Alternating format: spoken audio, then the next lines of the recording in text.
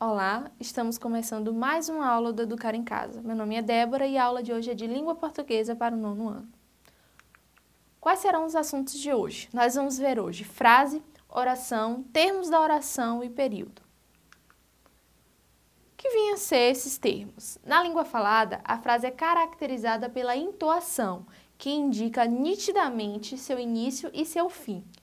A entoação pode vir acompanhada por gestos, expressões do rosto, do olhar, além de ser complementada pela situação em que o falante se encontra.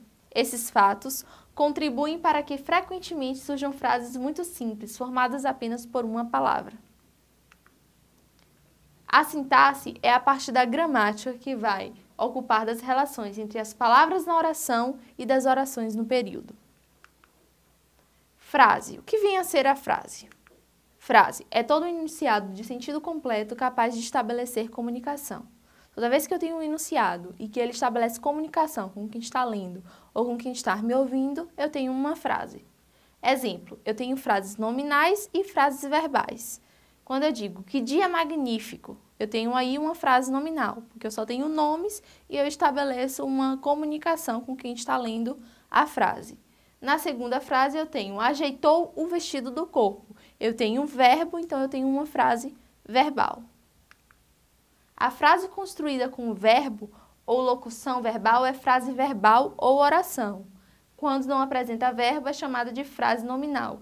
Ou seja, nem toda frase é oração, mas toda oração é uma frase. Para ela ser uma oração, ela precisa ser constituída de um verbo ou de uma locução verbal. Observe que as frases podem ser formadas por uma única palavra também. Por exemplo, silêncio. Eu estabeleço uma comunicação e quem me ouve é capaz de compreender o que eu estou dizendo apenas com uma palavra. Oração. Oração é o enunciado organizado em torno de um verbo e o período é o enunciado constituído de uma ou mais orações. As frases, elas constituídas por verbo, ela pode ter uma oração e se ele tiver mais de um verbo, eu posso ter mais de uma oração. O período formado por uma única oração é chamado de, que é chamado de oração absoluta, é o período simples. Já o período formado por mais de uma oração é chamado de período composto. Como já havia dito anteriormente, nem toda frase é uma oração. Para ela ser uma oração, ela precisa ter um verbo mas toda oração é uma frase. Na frase, o avião sobrevoou a pista. Nós temos aqui um período simples, temos apenas um verbo, que é o verbo sobrevoar. Na segunda frase temos, parece que a colheita vai ser boa este ano. Temos aqui o primeiro verbo, verbo parecer, e temos ali o segundo verbo, vai ser. No caso, o verbo de ligação e o verbo principal. Então, temos aqui, no caso, um período composto, porque temos mais de uma oração. Os termos da oração. Quais são os termos da oração que compõem uma oração? O primeiro deles é o sujeito, é o termo da oração da qual se declara alguma coisa por meio da ação verbal e com o qual o verbo concorda. São os termos essenciais da oração, sujeito e predicado.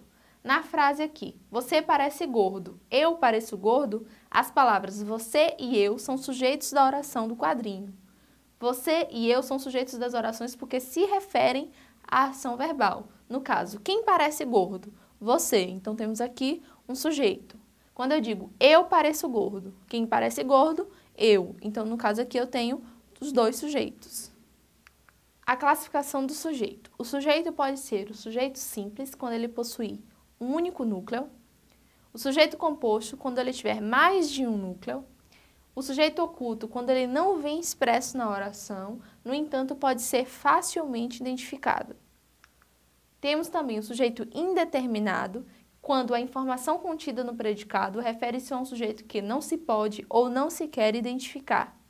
A oração sem sujeito, quando a informação veiculada pelo predicado não se refere ao sujeito algum. Geralmente, ela vai conter um fenômeno da natureza ou um verbo impessoal. O predicado é o elemento da oração estruturado em torno de um verbo que informa algo a respeito do sujeito. Tonico mora no interior de São Paulo. Temos aqui o sujeito, que é tonico, e nós temos aqui o predicado. É toda a informação que se refere, faz referência ao sujeito, que é tonico, mora no interior de São Paulo.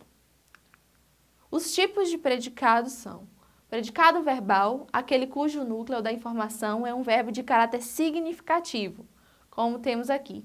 Eles saíram de casa. No caso aqui nós temos um verbo, verbo de ação, predicado verbal, aquele cujo núcleo da, da informação é um verbo de caráter significativo. Na frase, eles saíram de casa. Temos o sujeito, eles saíram de casa. Quem saiu de casa? Ele. E temos o predicado, saíram de casa. Nesse caso, nós temos um verbo de ação, que é o verbo sair, então temos um predicado verbal, porque temos um verbo de caráter significativo. E o predicado nominal, aquele cujo núcleo da informação é um nome, ou seja, um predicativo. Na frase, o menino está alegre. Temos o sujeito, o menino está alegre, o predicado. Nós temos um predicativo, porque é formado por um verbo de ligação, que é o verbo estar, e então temos aí, nesse caso, um predicado nominal. Predicado verbo nominal é aquele que possui dois núcleos de informação. Um é um verbo de caráter significativo e o outro é um nome, ou seja, um predicativo. Na frase, eles saíram de casa apressados. Eles, como sujeito da oração, o predicado saíram de casa apressados, nós temos aqui um verbo de ação, que é um verbo significativo, que é o verbo sair, e temos aqui apressados, que funciona como predicativo, por isso nós temos um predicado verbo nominal. Para fixar o assunto, nós vamos resolver alguns exercíciozinhos. Primeira questão. Transforme a seguinte frase nominal em uma oração com sujeito e predicado, introduzindo um verbo à sua escolha. Na frase, Senhor, nada de água à vista. Poderia ficar, eu não vejo água. Na fala, então estamos condenados. Existe uma locução verbal? Se existe, qual é o período? Simples ou período composto?